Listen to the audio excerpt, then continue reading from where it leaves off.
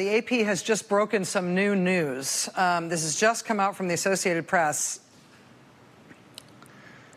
This is incredible. Trump administration officials have been sending babies and other young children. Oh, hold on.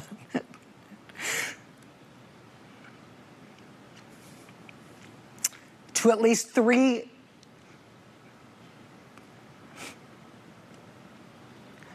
Can we put up the graphic of this? Thank you. Do we have it? No. Three tender age shelters in South Texas. Lawyers and medical providers. Just, I think I'm going to have to hand this off. Yeah. Sorry. That does it for us tonight. We'll see you again tomorrow. Now it is time for the last word with Lawrence O'Donnell, where he is live in Brownsville, Texas.